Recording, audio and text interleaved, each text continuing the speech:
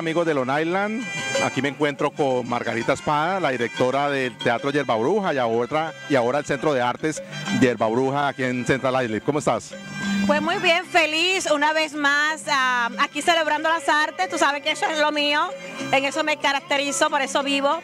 Eh, Súper feliz con la apertura de la plaza, la Plaza de la Cultura. Ok. Eh, te hemos visto en las redes sociales hablando de un nuevo CI, imaginando un nuevo CI. Reimagine CI. Cuéntame algo sobre eso. Bueno, el concepto de reimaginándonos Central Isley es un concepto, actually, es un concepto nacional internacional reimaginándonos comunidades. Eh, parte del proceso de a través de la imaginación no podemos imaginar que otra vida puede ser posible. Así que de larga escala yo lo llevé a la comunidad de Reimagining CI, reimaginándonos Central Islay. Eh, bueno, y ya esa imaginación es una realidad. Eh, nos, imaginamos un proyecto, ahora está siendo hecho realidad y es lo que vemos hoy. Un mejor Central Islay. Ese mejor Central Islay eh, viene acompañado obviamente de cultura, viene acompañado de, unir a la comunidad. ¿Cómo se está logrando ese proceso? Mira, es un, proceso, tú me conoces por mucho tiempo, yo vengo repitiendo lo mismo y yo creo que ahora sí tengo la evidencia para probar que el arte sí une, sí revitaliza. Ahora mismo en menos de un año todo nuestro bloque está rentado. Está, le damos la bienvenida a todos los nuevos negocios.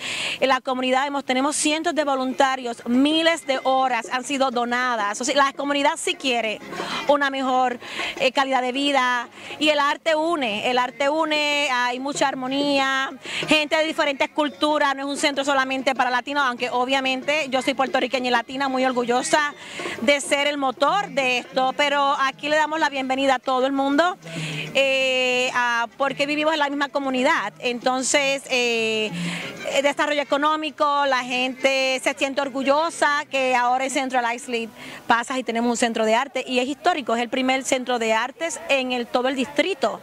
Estamos hablando, escuchando, hablando por tiempos y tiempos de los Downtown Revitalization, vamos a hacer los cambios y lo, con esto lo que se prueba es que cuando la gente quiere puede y hay, nosotros tenemos un enorme eh, capital eh, de servicios, capital de, experiencias, no solamente capital económico. Mucha gente profesional, mucha gente que quiere pero está agotada de los debates políticos, de la gente me dice, mira, yo no quiero saber de política, eh, te ayudo, pero no me... Ay.